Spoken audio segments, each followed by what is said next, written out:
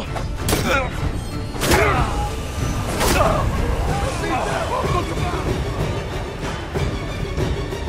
must be part of the armor that was made for Kutan Khan.